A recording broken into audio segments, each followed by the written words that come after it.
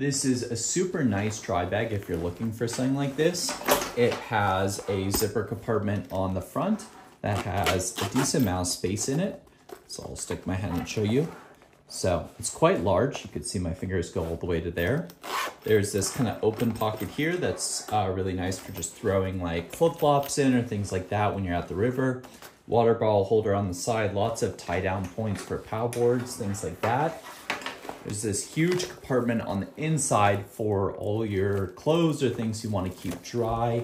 And then on the back, you have this really nice uh, backpack setup. So you have a chest clip that has a huge range here on how tight or loose you want to have it. Plus it's padded.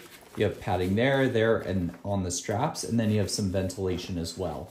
And if you decide you don't want to carry it with the backpack, you can also grab it right here from the grab handle. Um, so there's lots of convenient ways to carry this bag and it's just super convenient. So if you're looking for a really nice dry bag that is made of this really durable ripstop material, I highly suggest checking this out.